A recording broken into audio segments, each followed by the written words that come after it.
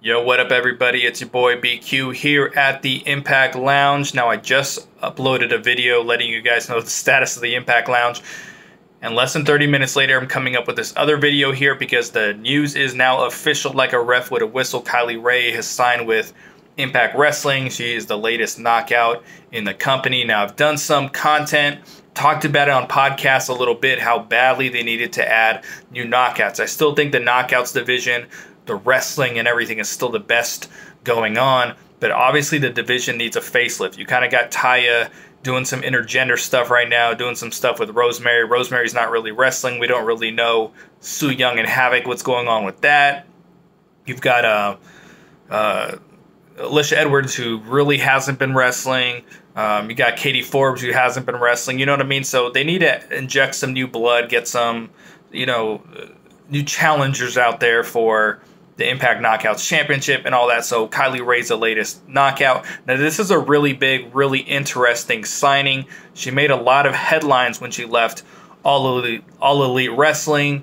She asked for out of her contract, and no one really knows why. That's a crazy thing. And in this social media world, in this wrestling world, where there where there's the Meltzers and all these guys backstage trying to get this information, no one really knows.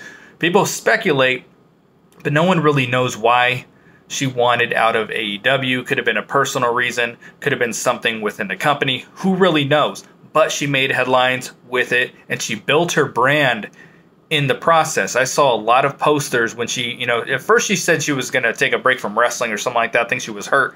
But then she came back, she was doing the independent circuit and uh, you know, people were booking her as the headliner. I saw some graphics where she was the headliner on the card. And when she uh, appeared at Bound for Glory, for those of you who were there, who were live and in person, that was the biggest pop of the night. At least in my opinion, it was.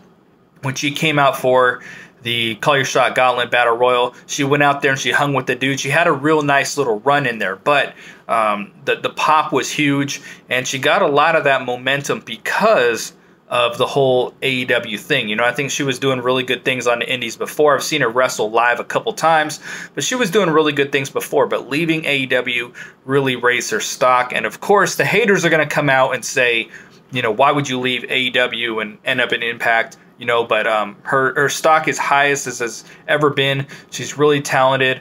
And uh, this is really good news for the Knockouts division. It's something that we had been hoping for a long time was going to happen, that it was going to be official, that she was going to sign. And there was some, you know, there were some worries because she showed up at Bound for Glory. She did the um, Twitch show the night before, but then we hadn't heard from her since. You know what I mean? So now it's official. And by the way, she, her, her ring entrance is one of the best theme songs I think in the company right now. So if you haven't heard that, you definitely got to check it out.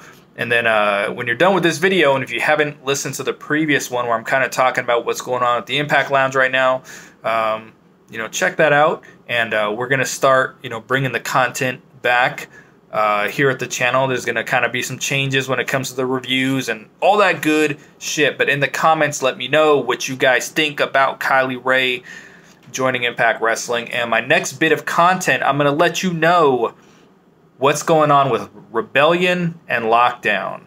All right. Talk to you guys soon. Thanks for checking out the Impact Lounge. As always, first time here, hit that subscribe button, and I'm out. Peace.